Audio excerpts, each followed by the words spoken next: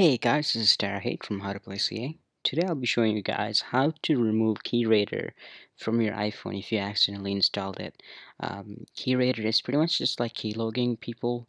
Uh, it's some kind of a Chinese Trojan or something, some kind of a Chinese virus. I mean, uh, what it does is take all the information that you have, like whatever you type in your keyboard, it saves it. So um, to remove that completely from your iPhone uh, without losing your jailbreak is pretty easy. All you have to do is um, download iFile from Cydia and after that you choose iFile and launch it alright so when you get to the I, iFile you're automatically going to be in this uh, little page right here uh, in order for you to actually delete it you have to go to dynamic uh, I believe dynamic stat statics or something.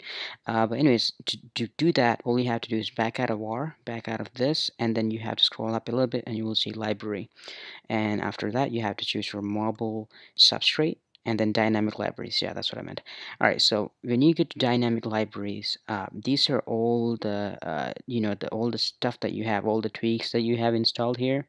And to actually find it and to delete it it's pretty easy. Um, these key keywords right here would be will be in the description below so you don't have to pause the video or anything. What you need to do is you have to select all of this like one by one copy it and then go to your um, dynamic libraries and then paste it just to see if it's actually in there.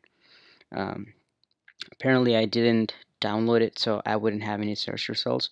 So let's say you actually do have that search result and if that happens to you all you have to do is to delete it is to actually hold it down and then choose select and then select again uh, for the make sure you choose .dylib and also .plist because it's very very essential that you do uh, because if you're to delete one and not do the other one that means it automatically regenerate the you know the other format or other um, file.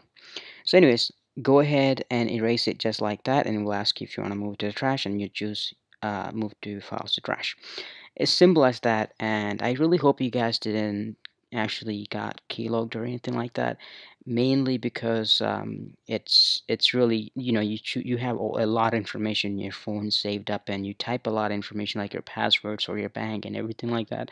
So make sure you guys do search it if you're jailbroken just to make sure um, you know you guys don't have it or anything like that. And also one tip that I would like to share to you guys is that make sure whenever you guys trying to um, uh, whenever you guys trying to install a tweak just look it up in YouTube and see if there's a review there available and if there is and then after that you install it just to see how it works so you wouldn't just install it right away uh, by looking at uh, you know Cydia and then usually people install it just like this so they just look in changes to see the most recent update right here and then they just save it. Uh, so yeah just make sure you guys go through YouTube and make sure every you know things that you download is kind of safe I guess.